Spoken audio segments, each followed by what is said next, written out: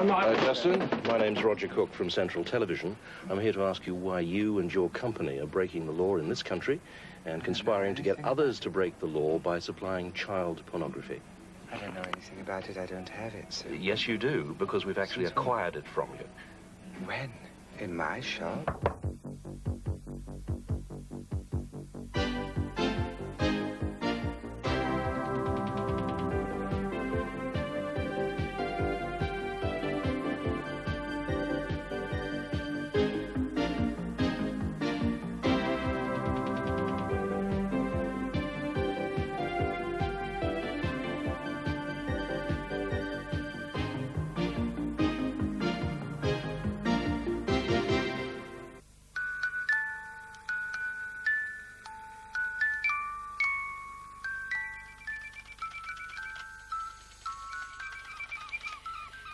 Childhood, the age of innocence, is now under attack as sexual abuse threatens to reach epidemic proportions. This program is about something more depraved and degrading still, the filming of children as they're raped and molested.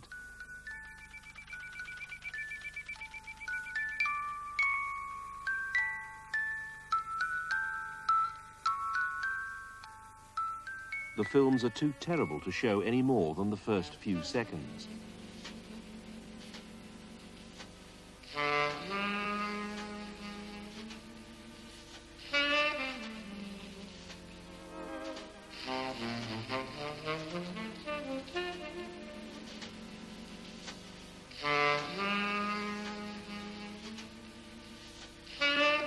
The girl is undressed and sexually assaulted.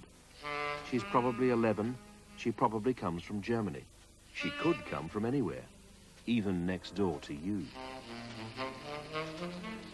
Shirley Johnson was once a girl next door.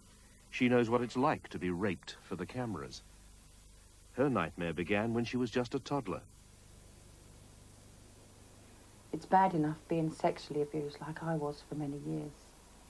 But having photographs taken and films made while the abuse was going on is even worse. And then when you become an adult, knowing those pictures and those films are circulating the world, that's just another trauma. There simply is no end to it. Here in the underground vaults of Scotland Yard's obscene publication squad, there are literally thousands of child pornographic videos, magazines and films, all of which have been confiscated from British paedophiles. We're not allowed to show them to you for legal reasons, even if we wanted to, because they depict in the most graphic possible way children as young as four years of age being sexually abused by adults. And this is no glossy centerfold material either, but the most horrific pictorial evidence of the grossest and most callous form of child abuse. What's worse, copies of pictures like the ones in here are now being sold and resold to child molesters right throughout the world. This is a problem which can affect every family and one has got to be aware that the problem does exist and watch your children very closely um, in their development and to pick up signs perhaps that uh, there's people, other people from the, outside the family taking additional interest and more interest in the children than they should do. So it could be anybody's little girl or little boy dragged into this awful business? Yes. Top London paediatrician Professor Oliver Brooke was trusted by parents to examine their children. Yet, for nearly a decade, he was a secret child pornographer, collecting, buying and selling obscene pictures of young girls. Brooke commissioned pictures from this man, Christopher Hilton. He sold them, together with other obscene material, to these men, Roderick Gegg and John Wilson. He also employed photographer Leslie Freeman to duplicate and package them for resale to the continental child pornography market.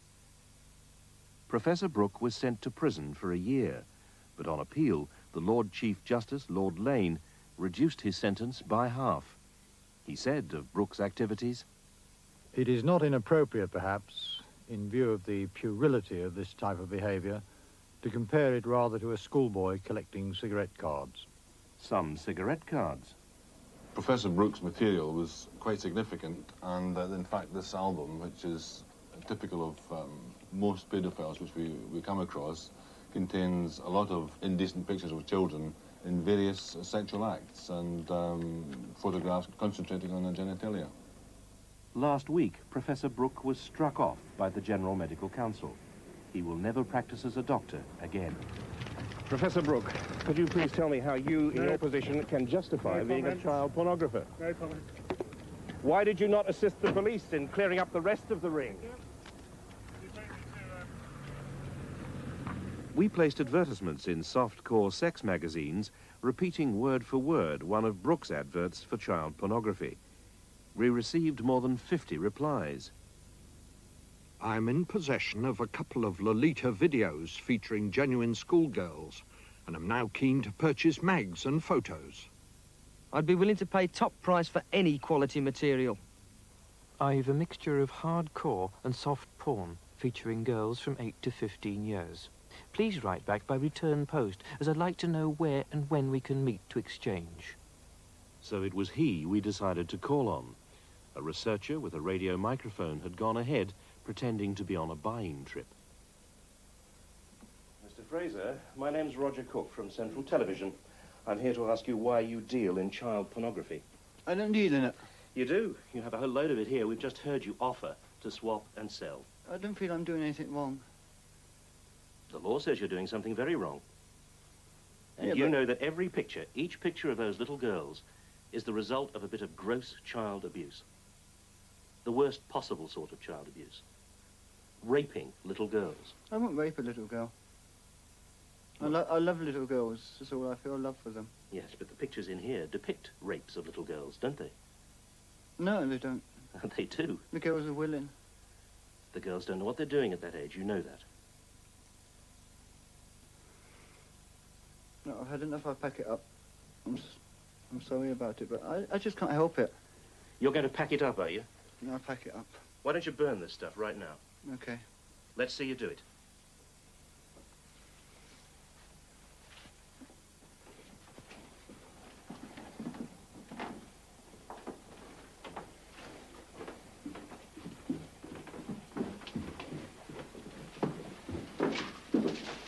The remainder of his substantial stock in trade has now been passed to the police. But Keith Fraser is a relatively small fish. Others are not.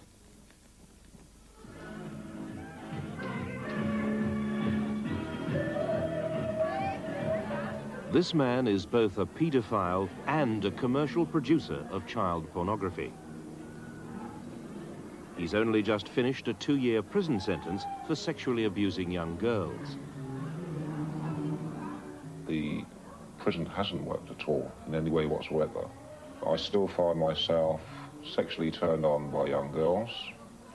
In actual fact, I do find myself going out fairly often to the fun fair we have here in the town and uh, looking out for the girls that hang around there. But how old were the girls involved in this? The youngest were 12, the varied in age 12, 13, up to 16, 18. How can you justify what you did? How do you justify it? You don't. You don't stop to think.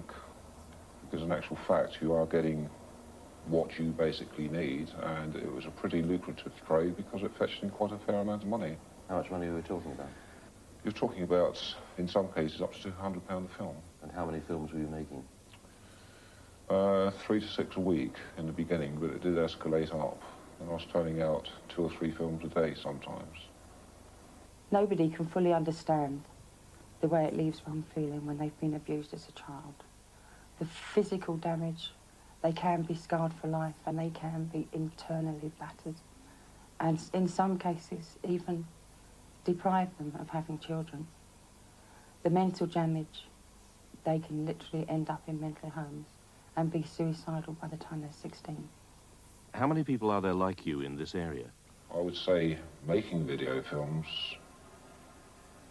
at least two dozen people. Enjoying them, it runs into thousands. It really does run into thousands of people.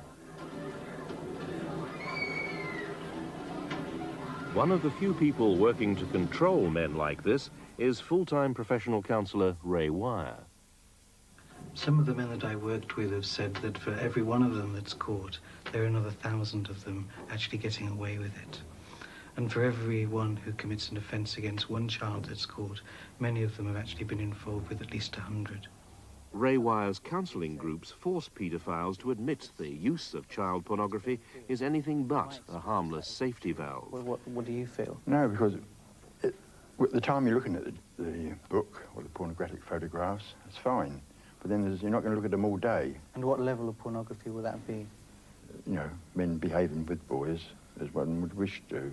I would wish to. So they're photographs as well? Photographs, yeah. The photographs, the videos are used for a variety of reasons. One of the reasons is it lowers the inhibition of the man who's using it. He actually will feel that his behaviour is pretty normal in the context of this pornography. I fell in love with a little boy about 12 and he was a charming, fair-haired, blue-eyed boy. And he's come to my house and uh, to get him involved a little quicker than the normal procedure, the pornography was laying about I could sort of encourage him to read it and also... What did that by, do then? By example, help me to get the boy quicker. And uh, from that on, from then on, you see, after he saw what it could be done and he agreed, because we performed the acts that were in the book. Books like Lolita, the biggest internationally distributed of all child pornography magazines. But Lolita also acts as a contact point for paedophiles looking for new children to molest and to photograph. In the United States, the only Western country to take the problem seriously, police confirmed that international child pornography nearly always begins at home. The original material is virtually always produced uh, by amateurs. It will be provided to the professional distributors who reproduce it and distribute the material literally on an inter international scale. It's distributed all over the world. But the original production of the material, the actual photos, videotapes, or movies, are virtually always produced by persons who are molesting the children. So the producers are the abusers? That is correct. I progressed from a Polaroid camera, basically, and then went up to a video camera and started taking films. I met this one girl first. She came along with a friend of hers. That friend introduced her friend, so it escalated up. And I eventually had between, what, over a two-year period, you're talking about 200 girls. All involved in these films? Oh, yes. Many of those hundreds of videos were exported to Holland, the European distribution centre for all forms of pornography. Although new Dutch laws outlawed child pornography last year, we were able to buy it over the counter in several sex shops, including this one, a branch of the Erex chain, one of Holland's largest pornography distributors. It's quite difficult to lay your hands on it. I'll do that and try that always. But I'm also one of the people who say I never promise. Because yeah, right. I hate false pretenses. Yeah. yeah. The dealer, who introduced himself as Justin, offered us a choice from a colour catalogue of 24 videos featuring children as young as seven. And then I show you how I glue the tape onto the reel so that you don't have to have any problems when you go to England and change it out. He then demonstrated how the tape would be broken down to be smuggled through British customs. Quite easy. Take this one out. He was very careful not to mention the true nature of the material, insisting we refer to it as the lingerie collection. Yeah, but I'll talk always about lingerie, not about anything else. Right. And if you come for the tape this week, I'm working in the evenings, not in the daytime. Yeah? Okay. See you. Bye-bye. Within a week, Justin delivered as promised. This package, hand-delivered without a stamp, and disguised inside a typewriter ribbon box was what we got for our 200 pounds. Inside, broken down from a video cassette, just as Justin had demonstrated, is the spool. And it's a relatively simple matter to reassemble it, just as he showed us.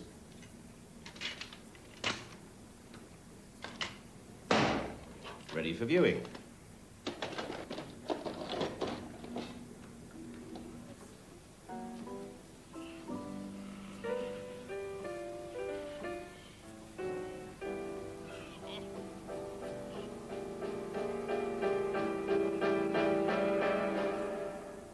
Happens next to this little girl most people would find sickening.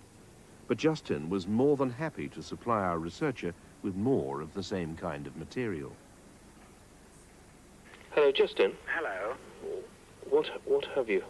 I would advise you the number 5 or the number 10 or number 12 out of this series, and I've no problem in setting it up for you. When are you over? I'm coming over on Monday. Next Monday. Yeah, it, it, it will be Monday evening. That's all right. See you on Monday then.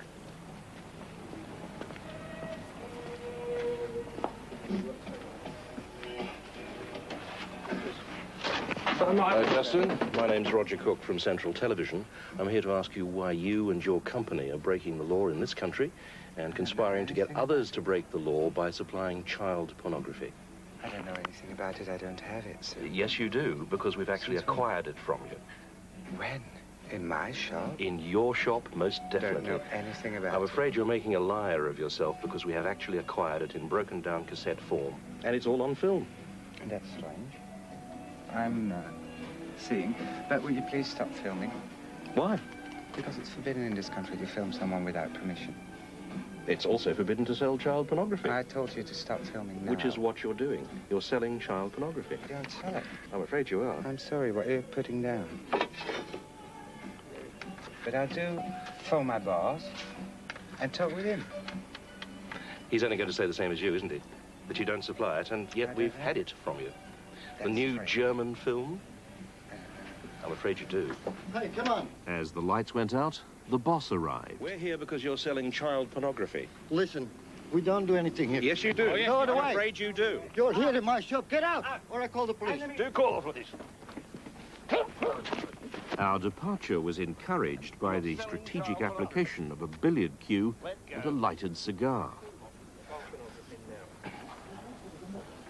Hop, go on. Give him a hand. And immediately. Out! I'm telling you. Out, out. You're oh. selling child pornography. Out, out. Put that down. No. You just go out and very quickly. Put that I down. tell you to go out. It's third time now. It's Put that down. I will collect some people here. You collect some all. people and kill us all. You'll collect some people and kill us all, you're saying?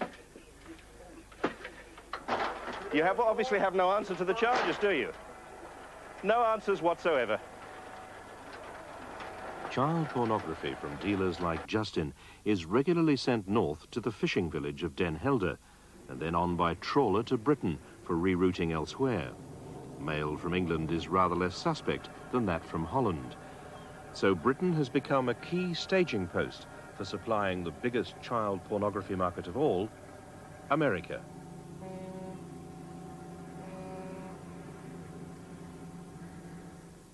Charges laid in America against this woman revealed the extent of the child pornography industry worldwide. Black Kathy Wilson's mail order empire stretched across three continents, through America, Australia, and Europe. She held bank accounts in Switzerland and the Cayman Islands, ran a fleet of luxury limousines, and filled a Los Angeles warehouse with imported child pornography. Her mailing list ran to 30,000 names, many of them British.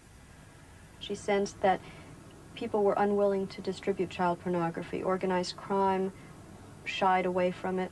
Um, her boss shied away from it. And so she decided that she would take up where others had left off. What was her attitude to it? She thought it was a product that was uh, desired. Uh, she compared it to toothpaste. And she said that it was just like toothpaste in that people wanted it, so people would get it.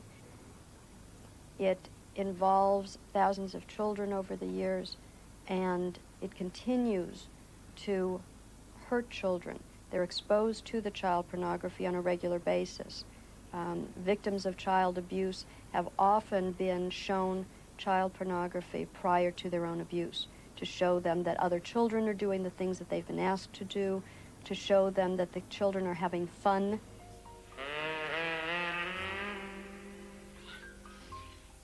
in the child pornography films, you see very stilted attempts to have the children smile as they're being abused. And, and the child pornographers and, and child molesters often focus on those semi-smiles to try to convince the children that they'll have fun and it will be something good and that they're not the only ones who do this sort of thing.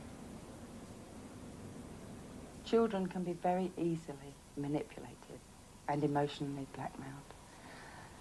Especially the deprived ones, the ones that aren't getting what they want at home, the love and affection that all children require.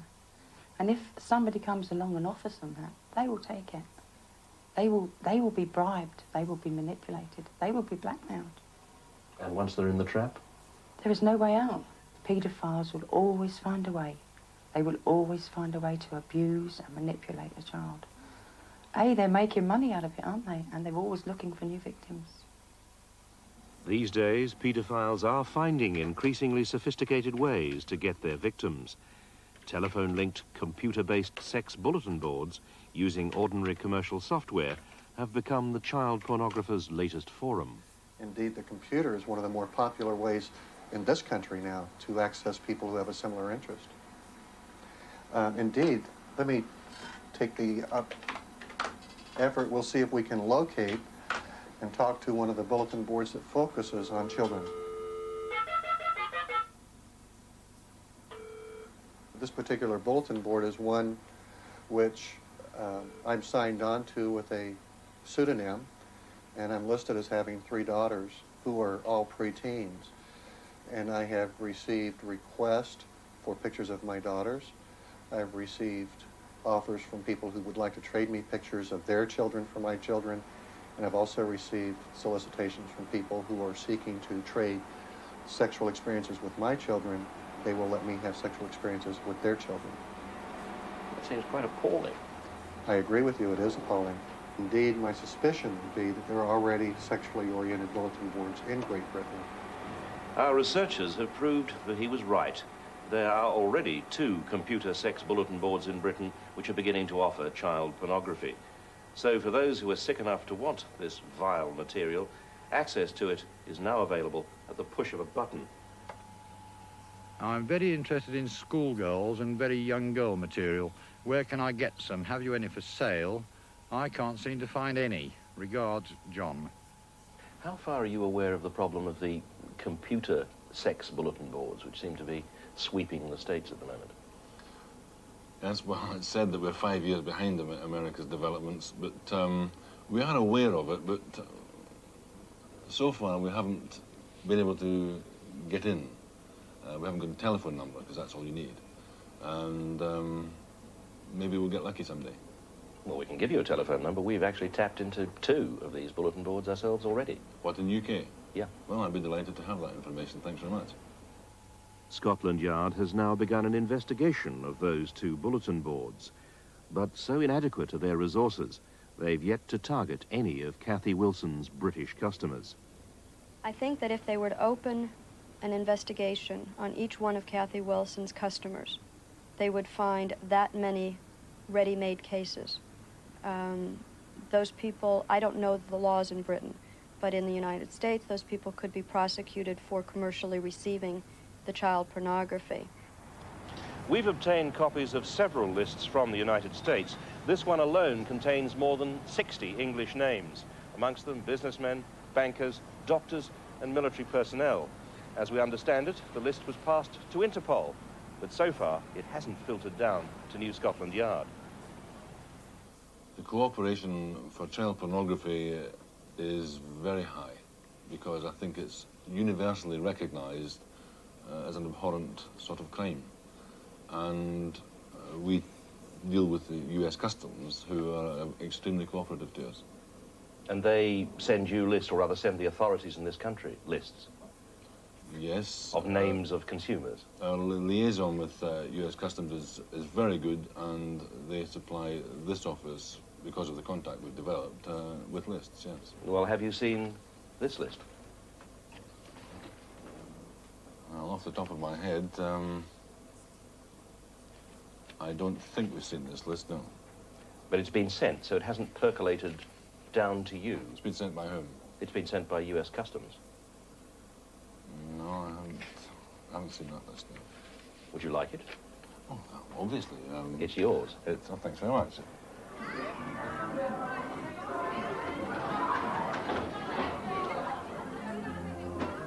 It's like a drug addict, really. Um, when you first experience a puff on a cigarette, a marijuana joint or something like that, you go on to something bigger. What's very clear is that it, there's an escalation.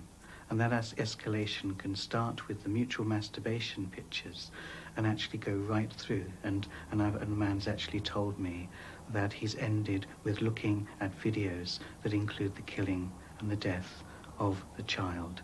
You have said that you could go as far as murder. Yes, so I'm saying this for the simple reason, how far does one go for kicks? I haven't reached that pinnacle yet. I don't know if I could. It's quite possible that I could, but I haven't as yet.